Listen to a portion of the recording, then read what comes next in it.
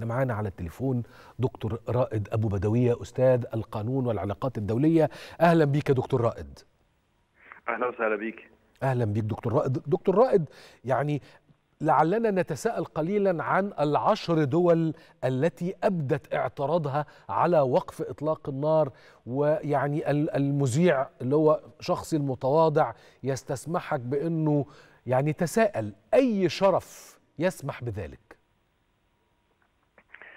يعني أخي الكريم منظومة حقوق الإنسان والتغني بحقوق الإنسان اللي نادى فيها الغرب عموما واللي صار له عقود بينادي فيها وينظر فيها على دول العالم الثالث إنجاز التعبير وعلى العالم غير الأوروبي وغير الأمريكي.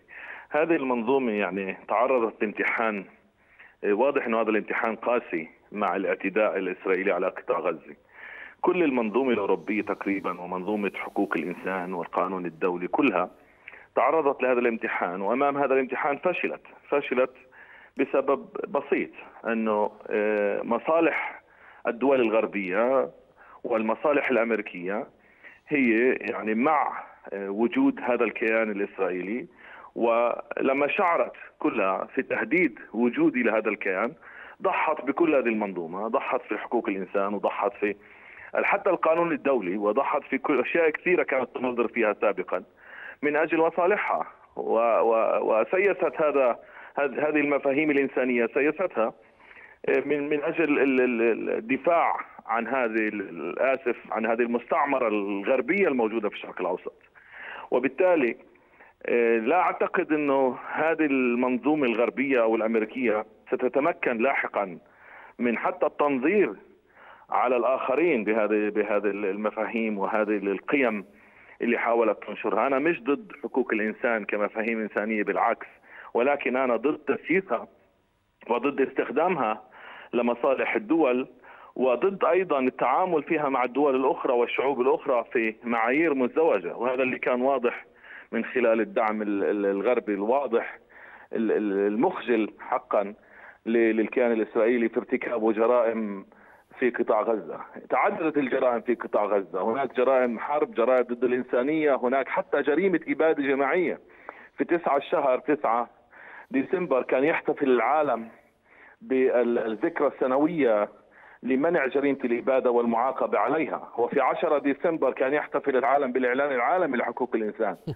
وبنفس الوقت لم تتمكن هذه المنظومة الأمم المتحدة كافة في كل يعني المجتمع الدولي لم يتمكن من تمرير قرار في مجلس الأمن من أجل وقف هذا العدوان ووقف هذه الجرائم. ورغم إنه هذه الجرائم ترتكب أمام عينه يعني للأسف الشديد.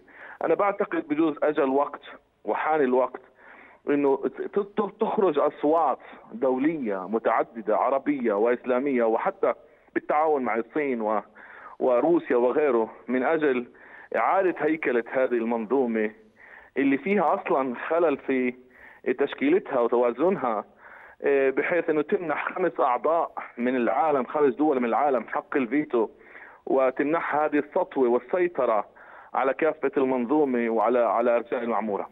ما هي الوجاهة دكتور رائد من وجهة نظرك كأستاذ للقانون والعلاقات الدولية ما هي الوجاهة من وراء وجود هذه المنظمة الأممية التي لا تملك صفة الإلزام في قراراتها حتى جويترش لما قرر إنه يستخدم المادة 99 في النهاية هي أقوى أدواته وأيضا غير ملزمة.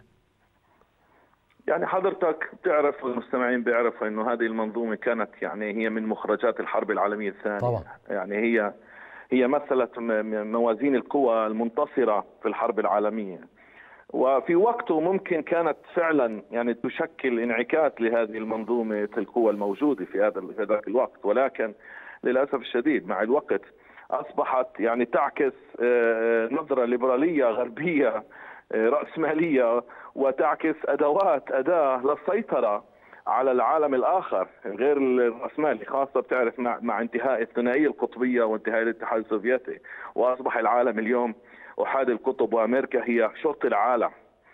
وبالتالي أعتقد هذه المنظومة في ظل هذه الأحادية القطبية في العالم أصبحت عاجزة وستظل عاجزة عن مناصرة ونصرة المظلوم في العالم.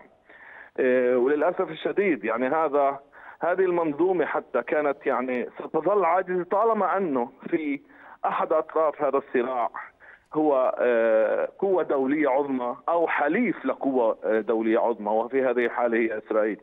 أنا لا أعتقد إسرائيل من ال 45 لليوم كحليف أمريكا هي دائما ترى نفسها فوق القانون ولا تمرر أي قرار دولي، هناك قرارات عديدة بالعشرات بل بالمئات من. القرارات الدولية صدرت في حقها، سواء من مجلس الأمن حتى مجلس الأمن في قرار 242 اللي صدر في 67, 67. والتي يطالبها بالانسحاب من الأراضي الفلسطينية المحتله، لم تطبقه.